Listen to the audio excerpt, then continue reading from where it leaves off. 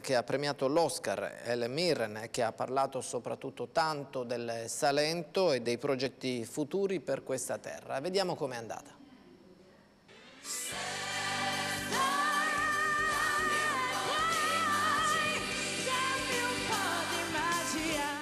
Serata scintillante grazie alle stelle sul palco e all'oro della Galatea Salentina.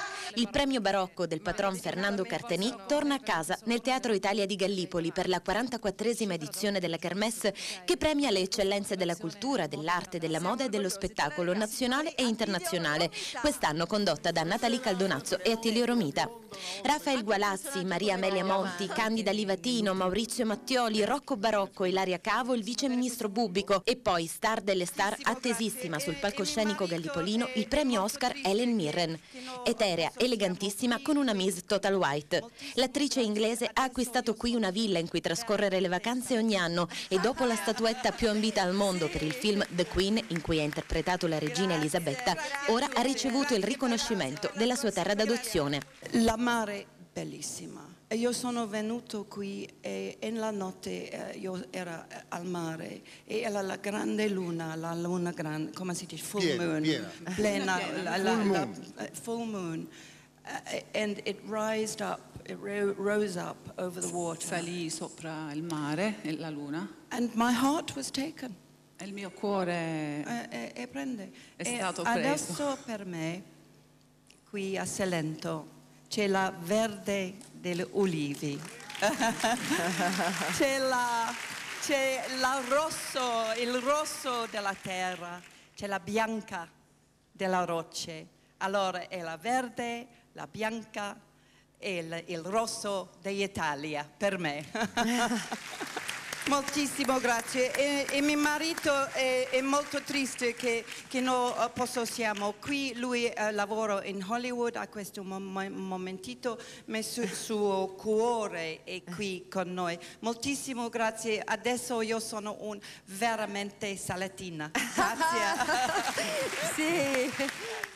Un premio è stato riservato alla categoria imprenditoria, assegnato anche all'editore di Telerama Paolo Pagliaro per l'impegno nello sviluppo del territorio per la creazione della Onlo Scuore Amico, strenuo difensore, si legge nelle motivazioni, dell'ambiente e delle tradizioni locali. Con la sua attività nel campo dell'informazione egli ha saputo promuovere lo spazio territoriale attraverso tutti i canali della comunicazione, rinnovando l'immagine e amplificando il valore di ogni singola realtà cittadina.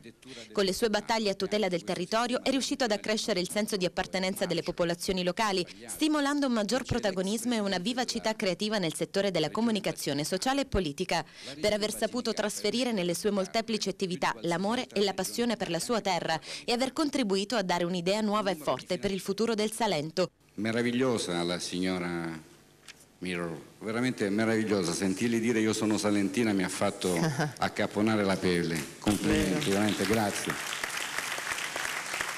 Perché questa terra ha bisogno di una cabina di regia, perché è assurdo che un premio come questo sia stato abbandonato, dimenticato ed diventato, era diventato l'emblema di questo territorio, del barocco.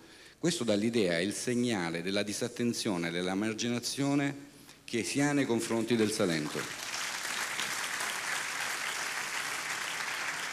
C'è una ferita che va rimarginata perché in una notte non ci fu consentito di essere regione e se oggi fossimo stata una regione sicuramente questa terra meravigliosa sarebbe più ricca e potremmo pensare a un futuro per i nostri figli e per i nostri nipoti che oggi purtroppo sono costretti a lasciarla e andare via.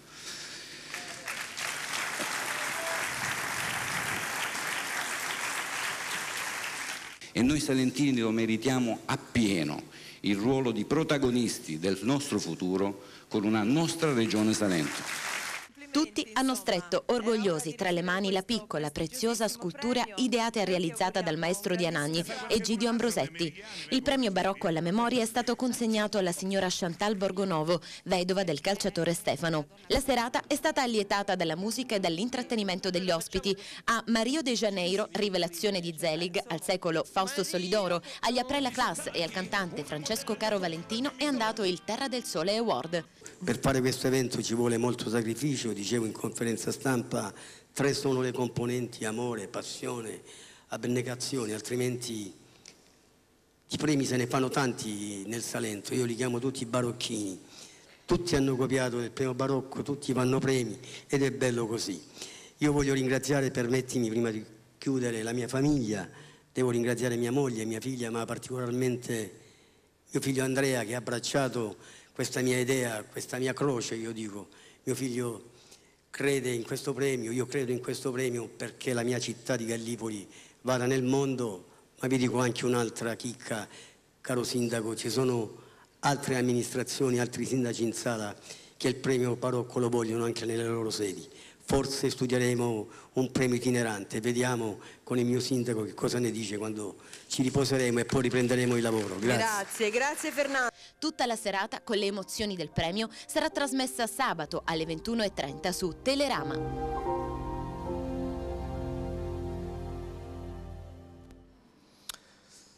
Ed ora cambiamo decisamente argomento. Questa mattina a Palazzo dei Celestini